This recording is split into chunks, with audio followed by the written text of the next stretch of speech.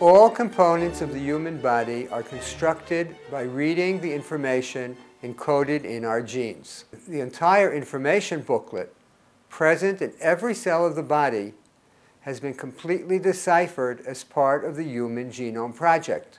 In collaboration with Aharon Razin, we discovered that the text of this gene booklet is actually annotated through a chemical process called DNA methylation. These methyl groups provide a sophisticated system for marking which genes should be turned on or turned off in every tissue of the body.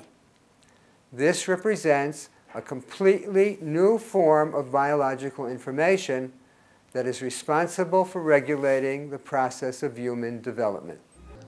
Over three decades of fruitful collaboration, pioneered by deciphering the role of DNA methylation on gene function.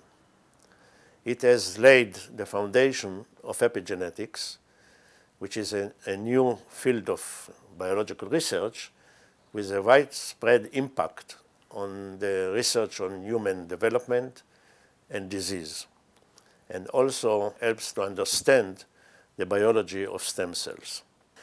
Abnormal methylation brings about faulty gene function in cancer and other neurodevelopmental disease. By manipulating methylation, we hope to devise new therapies uh, that will reverse the effects and uh, help to solve the problem of these diseases. DNA methylation may also serve as a mediator of uh, our genes being affected by the environment.